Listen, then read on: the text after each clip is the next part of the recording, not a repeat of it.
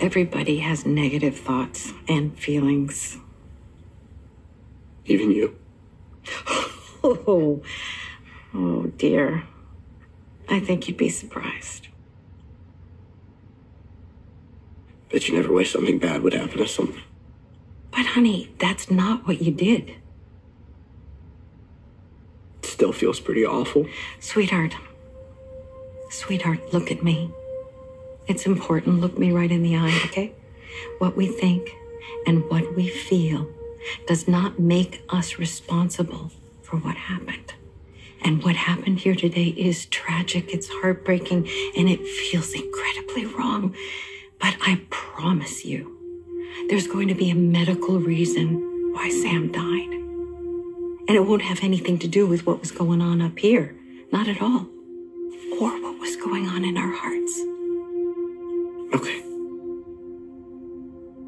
Is it okay? I mean, is it really okay? Do you know it? Do you believe it? Yeah, I get it. Good. Because what Sam did today, sweetheart, was beautiful.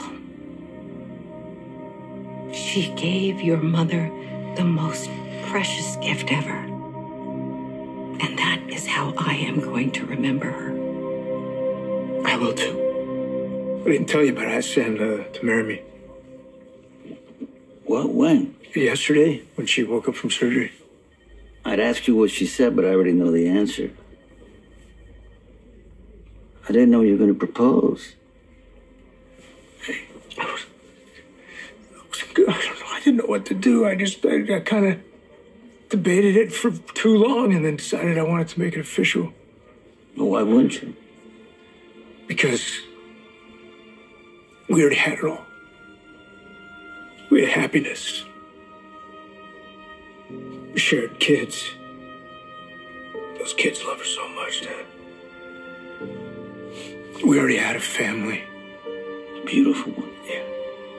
And I figured, why rock the boat, you know? What changed? I wanted more. I wanted to make this beautiful human being my wife. So I asked her, and she said yes. Must have been incredible Yeah, it was. moment. It was.